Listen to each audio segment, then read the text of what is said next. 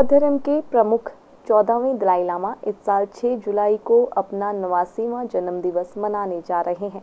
मगर उनके जन्म दिवस से कुछ महीने पहले ही देश विदेश में रहने वाले उनके लाखों अनुयायी, उनके उत्तम स्वास्थ्य और लंबी उम्र की कामना के लिए बहुत बड़ी प्रार्थना सभा का आयोजन कर रहे हैं। और ये आयोजन धर्मशाला की ग्लोबल सिटी मैकलोडगंज में हो रहा है।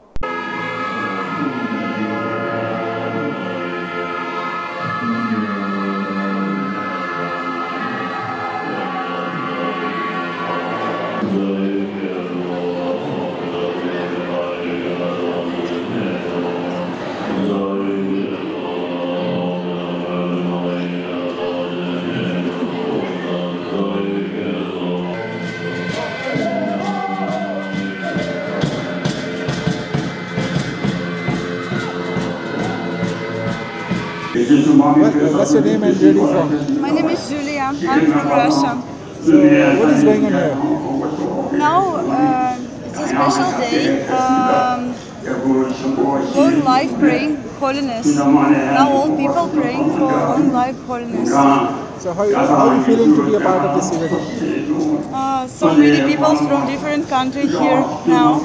Uh, in Dharamshala, one place, and it's very special, special feelings. Um, Yes, very difficult to uh, explain, but um, positive vibrations. Yes.